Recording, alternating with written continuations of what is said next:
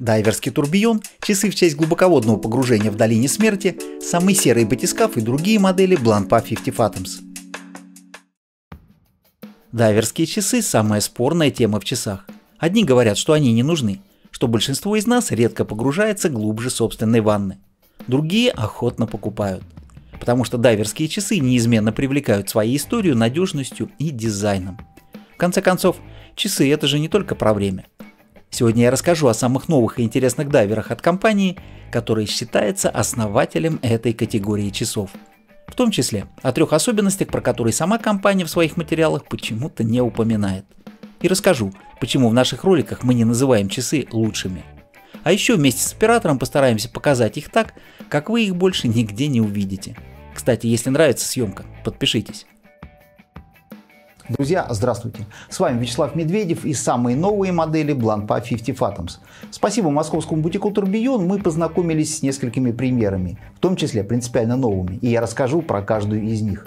Но поскольку часы в наше время это еще и история, символы, обойтись без краткого упоминания истории 50 Fathoms я не смогу. 50 Fathoms появились в 1953 в результате сотрудничества французских военных в лице Роберта Молубье и тогдашнего руководителя Бланпа Жан-Жака Фихтера. Военным был необходим надежный прибор для подводных диверсий, а Фихтер сам был дайвером и тоже понимал важность часов. В одном из погружений он потерял контроль за временем и чуть не лишился жизни. Поэтому, когда военные показали ему свой список требований, нашли единомышленника. А список был прост – чтобы было видно время под водой, чтобы можно было замерять длительность погружения, устойчивость к ударам и магнитным полям. Первые версии достались заказчику, то есть военным, а вскоре часы попали и в каталоги магазинов, которые продавали оборудование для ныряльщиков. 50 Fathoms прославились поставками в армии многих стран – США, Германия. Но военный клиент невыгодный. В итоге в 60-х производство модели было остановлено. В той истории было много неожиданных поворотов. У нас на канале есть отдельный ролик про это, посмотрите. Модель 50 Fathoms вернулась в коллекцию уже в наше время. И снова, во многом благодаря дайверу, Марку Хайеку. Сегодня я расскажу о 8 моделях 50 Fathoms. Одна из них настолько нова, что на момент съемки в Бланпа еще даже не успели сочинить на нее пресс-релиз. Информация про новинки батискафа и запатентованный титановый браслет пробегала в сети, но в Россию часы пришли буквально пару недель назад. Еще три модели в продаже давно, но не показать их на нашей съемке было бы преступлением. Если интересно, ставьте лайк и поехали! Классический Blancpain 50 Fathoms это трехстрелочные часы, в верхней части которых расположен логотип и надпись 50 Fathoms. И у нас будет несколько не просто новинок, а настоящих сюрпризов в этой категории. Но начну с самых необычных часов коллекции. Во-первых, самых сложных, а во-вторых, единственных часов, у которых логотип находится не на своем месте. Это Blancpain 50 Fathoms 8 Days Tourbillon. Ни сама модель, ни механизм Blancpain 25А не являются новинкой. Но часы интересны тем, что это не просто турбион, а турбион с 300-метровой водонепроницаемостью. Название 50 Fathoms происходит от английской единицы измерения. 50 саженей – это около 90 метров. Такая глубина считалась пределом для ныряльщиков того времени. На циферблате нашей модели мы видим две цифры – 300 в метрах и еще более круглая 1000 футов – Правда, надпись переехала на левую сторону циферблата, а логотип на правую. Потому что центральное место заняло окно турбиона. За его работой можно наблюдать бесконечно.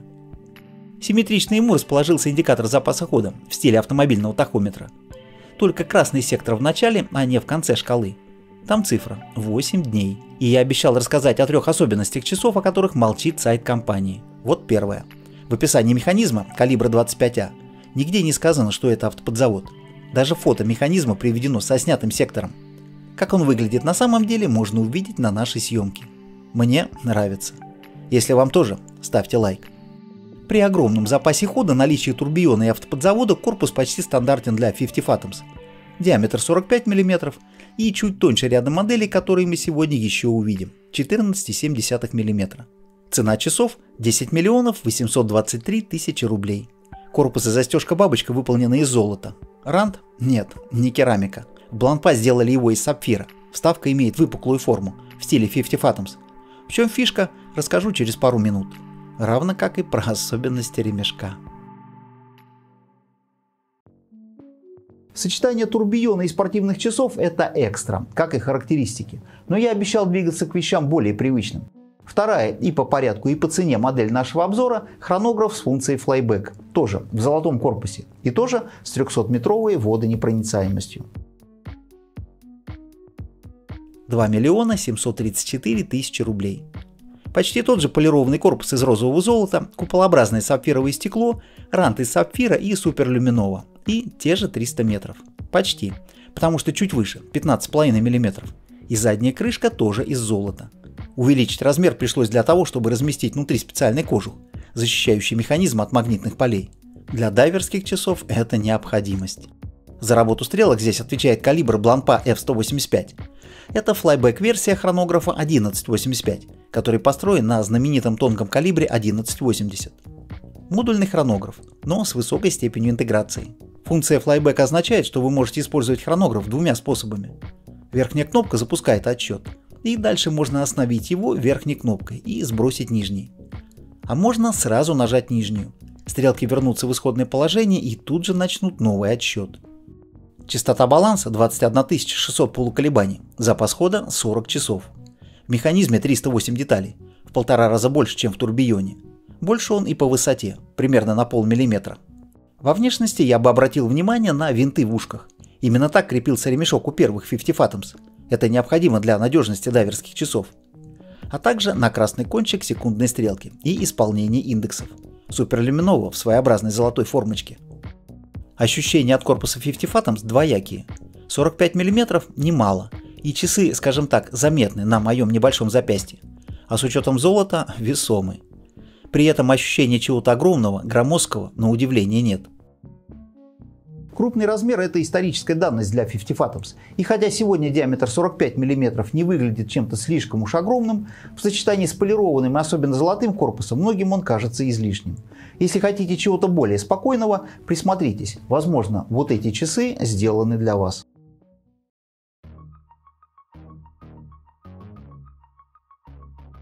Вот мы и подошли к новинкам. И не только в дизайне.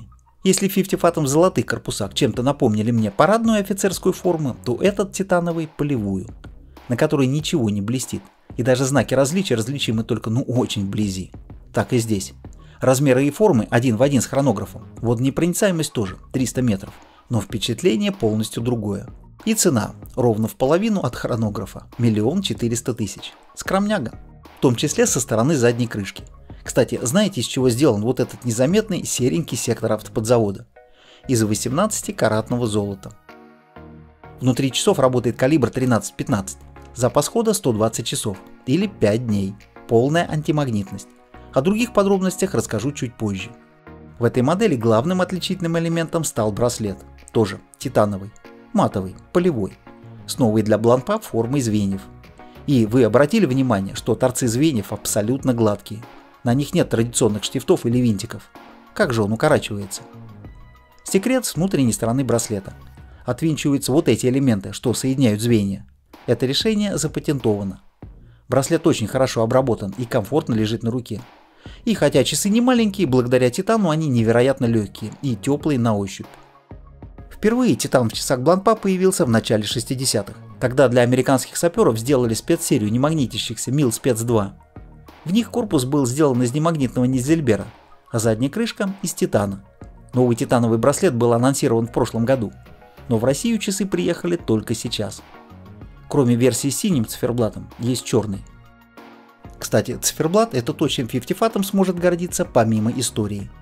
Я обещал рассказать, почему в наших роликах мы не называем часы лучшими, как это делают другие каналы. Думаю, глядя на эти часы, вы все уже поняли. Просто через нас проходят часы разные. И хорошие, и такие, как эти. Очень хорошие. Одними восторгаться не получается, но есть какие-то интересные элементы, на которые я и обращаю ваше внимание.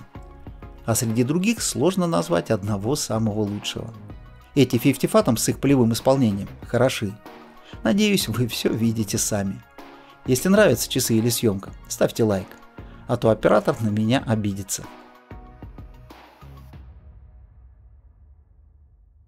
И прежде чем перейти к самой интересной части рассказа про линейку батискаф, на минутку остановимся на женских 50 Fathoms. Тем более, что одна из моделей полностью ломает наше представление о коллекции. И не только размером корпуса. Не спешите перепрыгивать на мужские часы. Я расскажу про некоторые особенности исполнения 50 Fathoms. К тому же синие заслуживают того, чтобы вы их рассмотрели поближе. На этих кадрах мы хотели показать разницу между 50 Fathom с обычным флайбэк хронографом и двумя женскими часами. Белые имеют точно такой же размер – 45 мм, а правые, синие, абсолютная новинка. Итак, особенности исполнения. Я уже говорил, что рант в часах 50 Fathoms сапфировый. Сделать плоское кольцо из сапфира в целом не очень сложно. Из керамики тем более. Выпуклые из керамики тоже, Нужно сделать лишь форму, в которой будет спекаться порошок. А вот чтобы сделать сапфировое кольцо выпуклым, придется вытачивать и полировать его до нужного профиля. А после готовить полости для светонакопителя. Он здесь залит внутрь ранта. Учитывая твердость сапфира, задача не на 5 минут. Размер этих часов 45 мм. Формально от мужских они отличаются только элегантной застежкой и перламутровым циферблатом. Но восприятие другое. Интересно, к какому сезону можно отнести эти часы? Лету голубая гладь моря, перламутр или зиме, снег и искрящийся лед. И давайте перевернем. Помимо упоминания о 300-метровой водонепроницаемости, мы увидим тот же калибр 13-15, что и в титановой новинке. Только сектор автоподзавода будет выполнен иначе. Он напоминает ракушку. Все же часы про лето. И вторая из трех обещанных недокументированных особенностей часов 50 Fathoms – ремешки. На сайте написано, что они парусиновые. Не верьте. Вверху действительно какая-то особая ткань, а нижний слой или каучук, или кожа. Что именно, я так и не понял. Но очень приятно и верю, что долговечно. И теперь супер новинка. Знаю, что многие смотрят наши видео на телефоне. Очень рекомендую следующий кусок пересмотреть на большом мониторе, в идеале в 4К. Возможно, сейчас эта модель уже появилась на сайте, но на момент съемки не было даже пресс-релиза, так что вы видите эти часы первыми. Помимо размера 45 мм, у 50 Fathoms были часы 38 мм. Диаметр этих 40,5, толщина 12,3. Такой размер появился впервые. Внутри калибр 1151P. Это развитие семейства калибров 1150, различные модификации которого используются в Джеки Друо, Гарри Винстон и других ультралюксовых часах. У конкретного калибра баланс с частотой 3 Гц, кремниевая спираль, два барабана и запас хода в 100 часов. Полюбоваться отделкой механизма можно через заднюю крышку. Получается сочетание актуального размера корпуса, механизма с прекрасными характеристиками и финишингом и декора самих часов, потому что подобного циферблата я еще не видел. Синий перламутр с черными прожилками. Особенно шикарно на этом фоне смотрится окно календаря с белыми цифрами на темно-синем фоне. Цифры 4, 5, 7 перевернуты для удобства считывания. Циферблат как море великолепно сделанные стрелки суперлюминовой. Мне тоже не носить эти часы, но оторвать взгляд невозможно. Хочется буквально нырнуть туда. Однако пора к другим новинкам, чисто мужским. В 50-х 50 Fathoms очень понравились военным, но не очень обычным людям. Часы в 42 мм казались слишком большими на тот момент. И в 56-м была создана уменьшенная версия – линейка Батискаф. Сегодня именно на батискаф приходятся основные продажи линейки 50 Fathoms. И здесь же представлены самые интересные механизмы. Среди трех новинок батискафа, часы с которыми ныряли в пустыне Долина Смерти, интересное дизайнерское решение, а начну я опять с самых сложных. С флайбэк хронографа. Золото, титан и сталь мы с вами уже видели. Корпус этих часов с четкими гранями сделан из темно-серой керамики. Из нее же кнопки, головка и вставка ранта. Метки в ней заполнены Liquid Metal – так что в отличие от обычных 50 Fathom светиться в темноте будет только нулевая отметка. Про двуслойный ремешок я уже рассказывал. Правда, забыл упомянуть, что от корпуса к пряжке он становится тоньше и мягче, от чего очень удобно сидит на руке. Модуль хронографа интегрированный. Использованы колонное колесо, вертикальное зацепление и 5-герцовый баланс. Это значит, часы способны замерять интервалы с точностью в 1 десятую секунды. При 5-герцовом балансе запас хода составляет 50 часов. Флайбэк означает, что замер можно остановить верхней кнопкой и сбросить нижней, а можно мгновенно перезапустить, нажав нижнюю. Усилие на кнопках и четкость срабатывания выше похвал. Прекрасные характеристики достигнуты благодаря приличным габаритам механизма, почти 32 мм в диаметре и 6,6 в высоту, и кремниевой спирали. Она же позволила сделать крышку прозрачной. Магнитных полей кремний не боится. F385 калибра верхнего ценового диапазона и отделка здесь на высоте. Посмотрите, как сделаны фаски мостов, отполированы винты. Из чего сделан черный сектор автоподзавода, догадались? Да, 18 карат. Главная особенность нашей модели – цветовое решение циферблата. Этот цвет назвали тропическим зеленым. Вот с этой характеристикой я не согласен. Скорее, лиственница. Напишите, что думаете вы. Но не суть. Тончайшие круговые линии около счетчиков, кстати, они прорезаны в основной пластине циферблата. Тонкие-тонкие солнечные лучи в купе с градиентом. Цвет циферблата очень точно передан на керамике ранта. Мелочь, но фон календаря такой же. Цена без 10 тысяч миллион четыреста. Присмотритесь к индексам, печати и стрелкам, особенно к секундной. Ничего не замечаете? Своими наблюдениями о третьей недокументированной особенности батискафа я поделюсь в конце.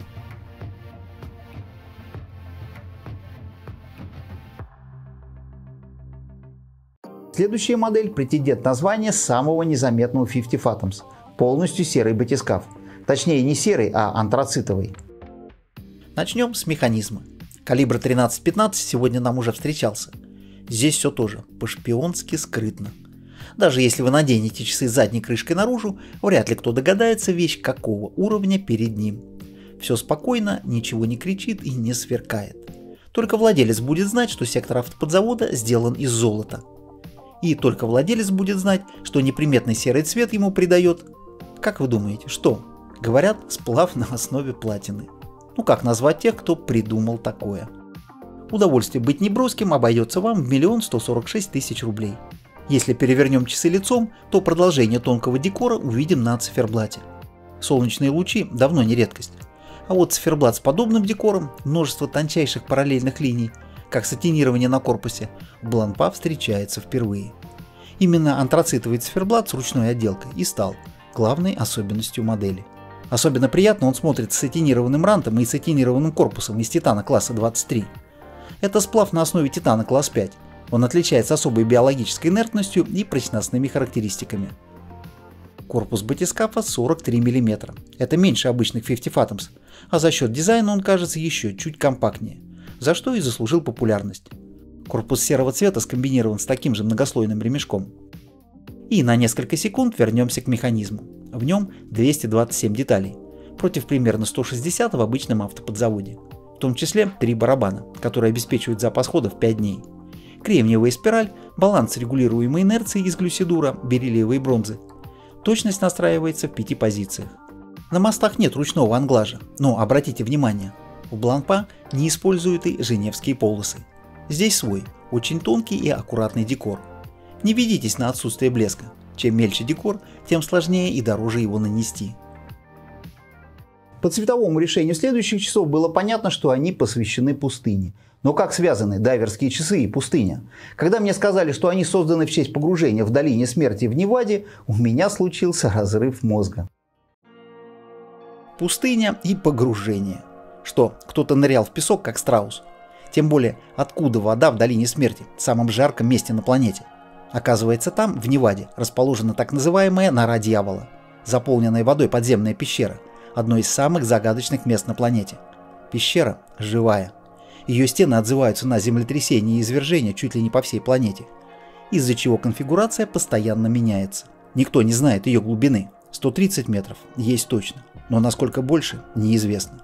Погружаться там рисковали немногие. Возвращалось еще меньше.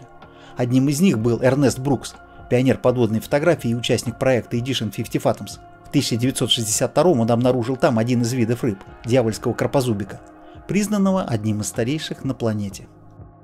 500 экземпляров батискафа посвящены этому погружению. О долине смерти говорит их расцветка. Градиентный песочно-бежевый циферблат с отделкой солнечные лучи и чуть более темный рант, символизирующий камни.